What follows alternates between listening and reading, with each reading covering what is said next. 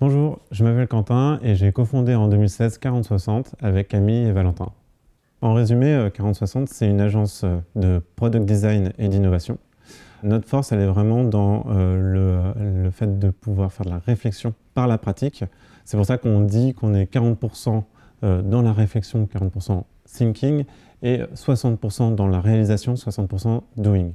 Ça se concrétise par le fait qu'à la fois on est capable d'accompagner nos clients dans les stratégies d'innovation, mais aussi de pouvoir réaliser des produits digitaux depuis la phase de conception design jusqu'à la phase de développement. En fait, on peut suivre un projet de A à Z de produits digital.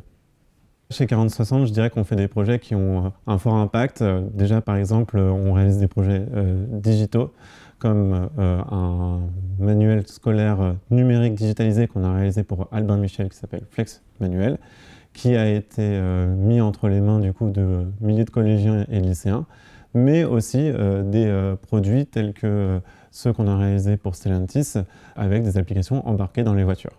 On réalise aussi des projets d'innovation. On a suivi euh, des projets d'innovation pour l'amélioration des chantiers sur euh, les chantiers d'EFAGE génie civil.